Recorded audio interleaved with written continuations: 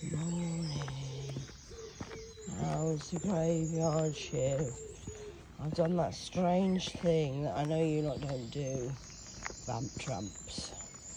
I've had a sleep, so I've woke up. I do believe you've been doing naughty things last night. You've, uh, it was the boatman.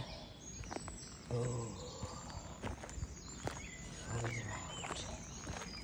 Swan's head's down. This is kind of a worry for you.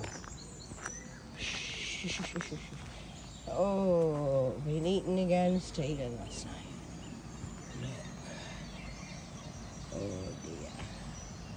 Dear, dear, dear. Would you look at that? That's a bit of a divide between the two. Been busy last night then? Oh, great. I see what you mean. Yes, I do too. Look. Oh, it's a swan. Swan Lake. Died another day then? Look. Can you see? Can you see? I see, I see, I see, I say, I see. See, I see, I say. I say, I say, I see, I say. Say, I see, I say. You're in trouble. This is not. Ah. So. Uh, hello, it's hello, baby. Sorry, I was looking at the fog now because the boatman. Have you seen the boatman? We got it crossed from one to the other. Hello. and I said to you, and you didn't listen. After me, it's grim.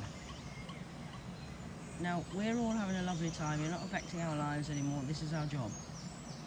To just come in and talk about the trauma and what's actually going on in the world. But this, we're just like news readers. We're just like investigators. We just, we actually, we've got multi-dimensional jobs. We're doing a lot of stuff on many levels. This is the Earth business and you've got a foggy lake. Elementary, my dear, Watson. elementary? So, Sunday, day one. Here we go, we're off hit ground book. I'm running this morning, I see. I'm uh, going to just think about this for a while and I shall come back with another one. Take care, one.